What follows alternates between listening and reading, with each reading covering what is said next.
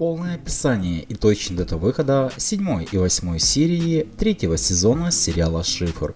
7 и 8 серии сериала выйдут на первом канале 9 сентября. Седьмая серия. Алексей живет у Проскурина. Он ушел от Авии, но никак не может наладить отношения с Ириной.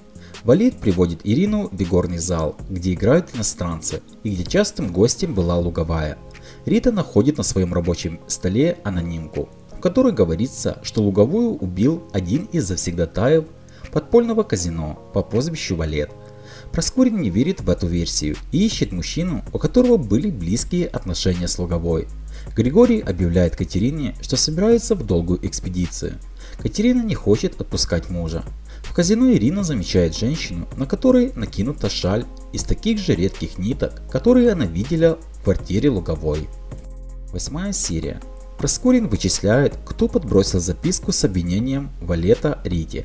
Белых недоволен Проскуриным. Тот чуть не сорвал арест подозреваемого в шпионаже. Жуковский добывает важную информацию о том, что из санатория Луговая уехала на машине одного из руководителей завода. Катерина и Зоя делают предположение, что с мужчиной, с которым у Логовой был роман, она познакомилась во время войны. Проскурин поднимает личные дела работников завода.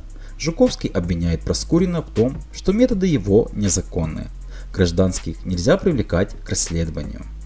Напомним, 7 и 8 серии сериала выйдут на телеканале 1 9 сентября.